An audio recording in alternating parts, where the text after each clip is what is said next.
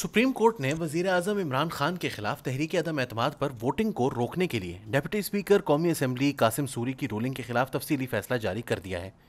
ये फैसला chief justice Pakistan Umar Ata Bandial ने तहरीर किया है, जबकि जस्टिस मजहर आलम मियाँ खेल ने इसमें इजाफी नोट भी तहरीर किया है। ये पाँचों जजेस का मुतफिक का फैसला है। सुप्रीम कोर्ट ने अपने फैसले में वाजे लिख दिया है कि तहरीक इंसाफ वज़ीर अजम इमरान खान के खिलाफ तहरीक अदम एतमाद के पीछे बैरूनी साजिश का कोई सबूत अदालत में नहीं पेश कर सकी। इसलिए बैरूनी साजिश के बयानिए में कोई हकीकत नहीं है। सुप्रीम कोर्ट ने अपने फैसले में यह भी लिखा है कि तहरीक इंसाफ की इस वक्त की हुकूमत मुतनाज़ साइफर भी अदालत में पेश नहीं कर सकी। डेप्यूटी स्पीकर की रूलिंग में भी इस साइफर के कुछ मंदरजात का तो ज़िक्र था, लेकिन मुकम्मल साइफर इसके साथ भी नहीं था। सुप्रीम कोर्ट ने नामुकम्मल साइफर को नाकाफी सबूत करार देते हुए साजिश के बयानिए की बुनियाद पर डिप्टी स्पीकर की जानब से तहरीक अदम एतमाद पर रूलिंग को खिलाफ आइन करार दे दिया है। सुप्रीम कोर्ट के मुताबिक बैरूनी साजिश के बयानिए के कोई भी ठोस सबूत अदालत में पेश नहीं किए जा सके। सुप्रीम कोर्ट ने अपने फैसले में यह भी लिखा है कि अगर कोई ऐसा साइफर मौजूद था तो तहरीक इंसाफ की हुकूमत को इसकी तहकीकात के लिए कोई कमीशन बनाना चाहिए था। इस साइफर को कौमी असम्बली में पेश करना चाहिए था। इमरान खान हुकूमत के पास इस साइफर की तहकीकात कराने के लिए काफ़ी वक्त मौजूद था, लेकिन उन्होंने इसकी तहकीकात के लिए कोई पेशरफ नहीं की।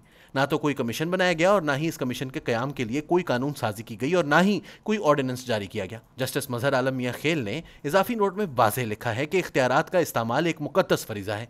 आइन में दिए गए इख्तियार को मुकदस अमानत समझ कर इस्तेमाल किया जाना चाहिए। ताहम तहरीक अदम एतमाद के मौके पर वज़ीर अजम सदर ममलिकत स्पीकर कौमी असम्बली और डिप्टी स्पीकर ने इस मुकदस अमानत का दुरुस्त इस्तेमाल नहीं किया। उन्होंने आइन से इनहराफ किया, जिसकी वजह से वो आइन के आर्टिकल छः के मुर्तकब हुए हैं कि नहीं, ये बात पार्लियामान को तय करनी है। उन्होंने लिखा है कि इस तरह की आइन शिकनी का दरवाज़ा खुला छोड़ना है या नहीं, ये तय करना पाकिस्तान की पार्लियामेंट का फ़र्ज़ है। मैं समझता हूँ जस्टिस मजहर आलम मियाँ खेल ने दरिया को कूजे में बंद कर दिया है। उन्होंने जस्टिस वकार सेठ की याद ताज़ा कर दी है। उन्होंने एक दफ़ा फिर यह बावर करवाया है कि आइन शिकनी की कोई मुआफ़ी नहीं होनी चाहिए। आइन शिकन कोई फौजी आमिर हो या सिविल वज़ीर आज़म, दोनों को सज़ा दी जानी चाहिए। इस बात से कता नज़र के कौन कितना ताकतवर है आइन शिकनी की कोई मुआफ़ी नहीं हो सकती। इसलिए अगर आज आइन शिकनी को मुआफ़ किया गया तो कल दोबारा आइन की पासदारी का हलफ उठाने वाले फिर आइन शिकनी की ज़रूरत करेंगे। इसलिए आइन शिकनी का दरवाज़ा बंद करने के लिए आइन शिकनों के खिलाफ आइन और कानून के मुताबिक कार्रवाई ज़रूरी है। इसकी कोई मुआफ़ी नहीं होनी चाहिए। तहरीक इंसाफ का बहुत शोर था कि साइफर पर अदालत का फैसला आना चाहिए। इन्हें पाक फौज के इस वाज ऐलान पर भी यकीन नहीं था कि मुल्क की सबसे बड़ी खुफिया एजेंसी ने तहकीक की है और इन्हें बैरूनी साजिश का कोई सबूत नहीं मिला। सवाल यह है कि अब सुप्रीम कोर्ट के इस वाजह फैसले के बाद तहरीक इंसाफ और इनका साजिश का बयानिया कहाँ खड़ा है? क्या तहरीक इंसाफ ने जिस तरह पहले पाक फौज का मौकफ मुस्तरद किया है, अब सुप्रीम कोर्ट के फैसले को भी मुस्तरद कर देंगे और अपने बैरूनी साजिश के बयानिए पर कायम रहेंगे? क्या वो सहाफ़ी तजियाकार और एंकर्स जो बैरूनी साजिश के बयानिए की एक कदम आगे बढ़कर हिमायत कर रहे हैं, वो अब कहाँ खड़े हैं? मैंने पहले भी लिखा है कि अपने सियासी मुखालिफिन को गद्दार गद्दार कहने के खेल ने मुल्क को कुछ नहीं दिया।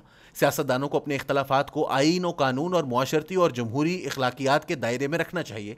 एक दूसरे को गद्दार करार देने से ना कल मुल्क की कोई खिदमत हुई थी और ना ही आज इससे मुल्क की कोई खिदमत मुमकिन है। लेकिन आइन शिकनी कल भी मुल्क के लिए जहर कातिल थी, आज भी मुल्क के लिए जहर कातिल है। इसकी ना कोई मुआफ़ी होनी चाहिए थी और ना आज होनी चाहिए। हमें पाकिस्तान की अदलिया से यह गिला रहा है कि इसने नज़रिया ज़रूरत के तहत आइन शिकनी को माजी में तहफ़ दिया है। एक अमर आइन को कागज़ का टुकड़ा करार देता रहा। दूसरे को आइन में तरमीम का इख्तियार भी दे दिया गया। ताहम इस फैसले में सुप्रीम कोर्ट ने खुद लिखा है कि वक्त आ गया है कि नज़रिया ज़रूरत को दफन कर दिया जाए और आइन की सरबुलंदी के लिए खड़ा हुआ जाए। आइन से इनहराफ ने ना कल पाकिस्तान की कोई बेहतरी की थी और ना ही आइन से इनहराफ आज पाकिस्तान की कोई बेहतरी कर सकता है। आइन पाकिस्तान की मुकम्मल मुतफ़ का दस्तावेज़ है जो हमने दो लख्त होने की कीमत के बाद हासिल की थी। इसलिए हम आइन से मज़ीद किसी एडवेंचर के मुतहमल नहीं हो सकते। डिप्टी स्पीकर कासिम सूरी ने आइन से इनहराफ किया। अब सुप्रीम कोर्ट ने भी इस हकीकत पर मोहर सब्त कर दी है। क्या कासिम सूरी के इस अमल को नज़रअंदाज कर देना चाहिए? क्या इनकी गैर आइनी रूलिंग के अमल को एक सियासी अमल समझकर नज़रअंदाज कर दिया जाना चाहिए?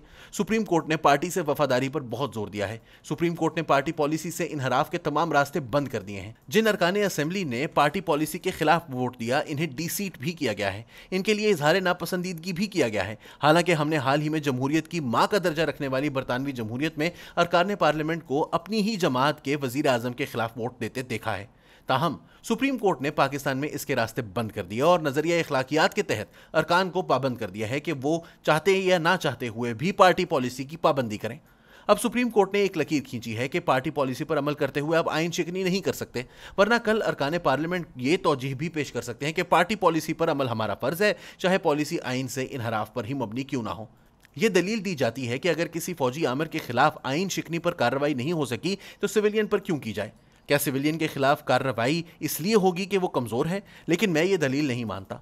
सिविलियन पार्लियामानी नुमाइंदों पर आइन की पासदारी की ज़्यादा ज़िम्मेदारी आयद होती है। आइन के तहत इकतदार में आने वालों पर आइन की पासदारी की ज़्यादा ज़िम्मेदारी आयद होना चाहिए। जिन पर ज़िम्मेदारी ज़्यादा है, इनकी गिरफ्त भी सख्त होनी चाहिए। पाकिस्तान की पार्लियामान और मौजूदा हुकूमत को अगर मुल्क में आइन शिकनी के रास्ते बंद करने हैं तो सुप्रीम कोर्ट के इस फैसले के तहत आइन शिकनी के रेफरेंस बनाने चाहिए। ये कार्रवाई कोई इंतकामी कार्रवाई नहीं होगी, बल्कि ये आइन की सरबुलंदी के लिए और इसके तहफ़ के लिए होगी।